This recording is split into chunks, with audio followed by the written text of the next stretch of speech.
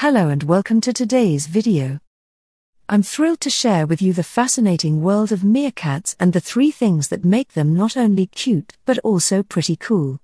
So, are you ready to join me on this safari? Let's get started. First up, let's talk about the meerkat's nose.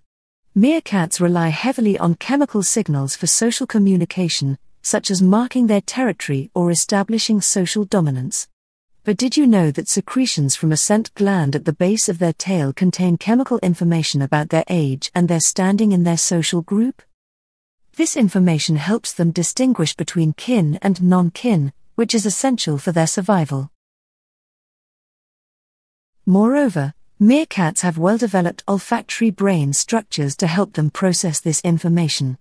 Olfactory clues aren't only useful for distinguishing between friends and potential foes, but also looking out for food. By using a combination of digging and sniffing, meerkats can find their favorite grub. While the majority of their diet is insects, they can also consume birds, lizards, snakes, eggs, and even plant material like roots. The second thing that makes meerkats cool is their memory.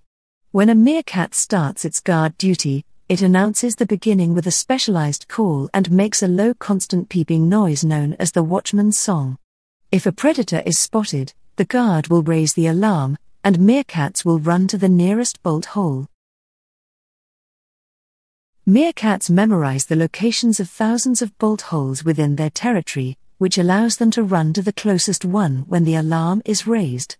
This incredible memory is crucial for their survival, as it enables them to quickly seek shelter from predators. Now, you might be wondering how all these thousands of bolt holes are created. Well, meerkats are good diggers, and they have sharp claws to help them dig efficiently.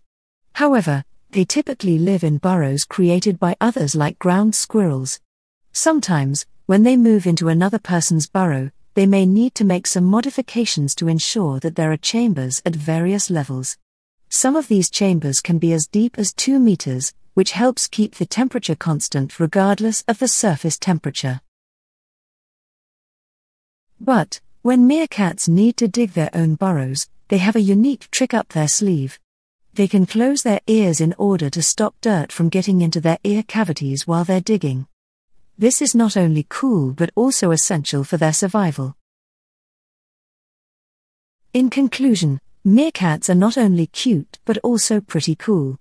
They have a unique way of communicating, an incredible memory, and a remarkable ability to modify their surroundings to suit their needs.